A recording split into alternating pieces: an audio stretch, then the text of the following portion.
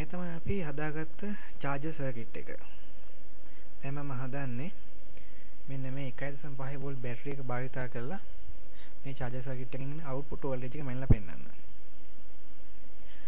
ඔයාලට පේනවා මේ බැටරි එකේ වෝල්ටේජ් එක 1.4යි කියලා. අපි දැන් මේ බැටරි එක අපි මේ චාර්ජර් සර්කිට් එකට සම්බන්ධ කරලා මල්ටිමීටර් එකෙන් අවුට්පුට් වෝල්ටේජ් එක මැනලා බලමු කීයක් එනවද කියලා. මේක සම්බන්ධ කරන මම ඇලිගේටර් ක්ලිප් කීපයක් භාවිතා කරනවා. මෙන්න මේ විදිහට සම්බන්ධ කරගෙන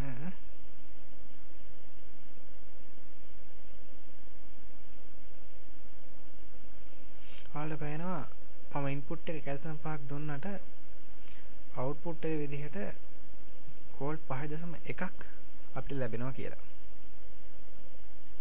ඒ කියන්නේ අපේ චාර්ජර් සර්කිට් එක වැඩ කරනවා. දැන් මම මෙන්න මේ ෆෝන් එක charge කරලා පෙන්නන්න. මේ 1.5 වෝල්ට් බැටරි එකකින් මේ චාර්ජර් සර්කිට් එක පාවිච්චි කළා.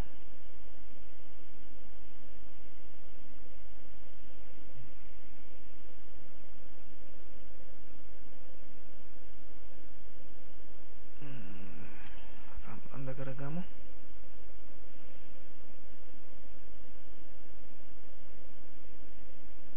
නිවැරදිව ධන ඍණ සම්බන්ධ කරගන්න ෆෝන් එකට සම්බන්ධ කරගන්නකොට